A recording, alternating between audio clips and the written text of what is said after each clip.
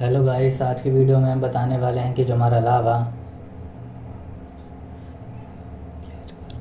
Lava Blaze Curve phone है तो Lava Blaze Curve phone की सेटिंग्स पे जाकर कैसे अपने फ़ोन में अलार्म्स वगैरह को कैसे अपने फ़ोन में सेट कर सकते हैं और अलार्म्स वगैरह को आप कैसे फ़ोन में लगा सकते हैं। लावा ब्लेज कर्व फ़ोन की सेटिंग्स पे जाकर और कैसे अपने फ़ोन में अलार्म्स वगैरह को कैसे लगा सकते हैं या फिर कैसे सेट कर सकते हैं लावा फ़ोन में तो आज हम बताने वाले हैं।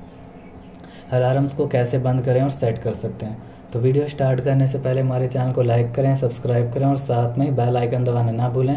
तो वीडियो स्टार्ट कर लेते हैं। तो आइकन से आप देख सकते हैं कि शो हो। रहे हैं तो सिंपली आपको स्वाइप करना है। स्वाइप करते ही वाला आइकन ओपन हो जाएँगे। ओपन हो जाएँगे, जिसमें से आपको जाना होगा। सेटिंग्स पे क्लिक करते ही सेटिंग से ओपन हो जाएगी, जहाँ से साउंड एंड वाइब्रेशन सेटिंग से ओपन हो जाएगी। ओपन हो जाएगी। जहाँ से आपके पास अलार्म ऑप्शन आता है, जहाँ से कोई भी अलार्म रिंगटोन वगैरह आप सेट कर सकते हैं। और आपके फ़ोन में सेट हो जाएगी, जहाँ से वॉल्यूम को इंक्रीज कर सकते हैं और अपने फ़ोन में वॉल्यूम को बढ़ा भी सकते हैं। तो इस तरीके से अलार्म बहुत साउंड वगैरह सेट कर सकते हैं। फिर अलार्म टाइमिंग को लगाना चाहें तो अलार्म टाइमिंग भी आप फ़ोन में सेट कर सकते हैं। तो आप देख सकते हैं सिंपली स्लाइड करते हैं तो क्लॉक सेटिंग्स आपके फ़ोन में आ जाएगी, जिसके ज़रिए अलार्म्स को आप सेट कर सकते हैं और फ़ोन में अलार्म्स लगा सकते हैं। देख सकते हैं कुछ इस तरीके से 6 P M and ten P M का अलार्म आपके फ़ोन में शो हो जाएगा, जिसका आप यूज़ कर सकते हैं और फ़ोन में अलार्म्स को सेट कर पाएँगे।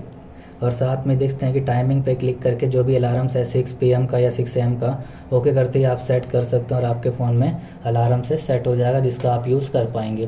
तो इस तरीके से भी फ़ोन में अलार्म्स को लगा सकते हैं और सेट कर सकते हैं। तो आपको वीडियो अच्छी लगी तो लाइक करें सब्सक्राइब करें और साथ में बेल आइकन दबाने ना भूलें। थैंक यू नेक्स्ट वीडियो के लिए इंतज़ार करें वीडियोज़ को शेयर करें। थैंक यू वीडियोज़ लगी तो।